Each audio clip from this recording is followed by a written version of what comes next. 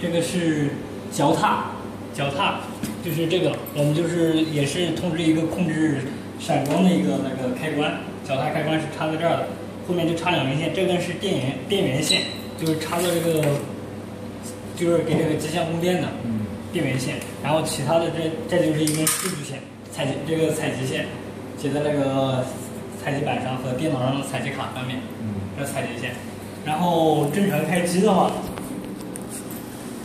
哦，就是先打开电脑，这电脑就是再打开电脑，然后九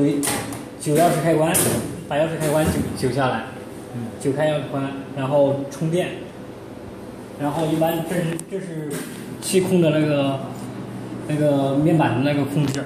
就是那个探针的控制，如果可以打开它。多少钱？啊，我我两个人在这里，像就装了个屏，这个打打死的，哦，然后就打开那个我们那个软件，首先就是关掉这个气，关掉气控，然后采集，按数据采集，这个必须使这个探针接住这个面板，然后采集，采集通道是四点九九五左右，三个通道都是四点九五左右，和那个温度不保持正常，然后采集完完了以后必须按确定。确定是必须要按，然后再开掉这个空开，然后把电子片放进去，然后点电子板测量，哦脚踏，闪光，然后就显示原始采集波形。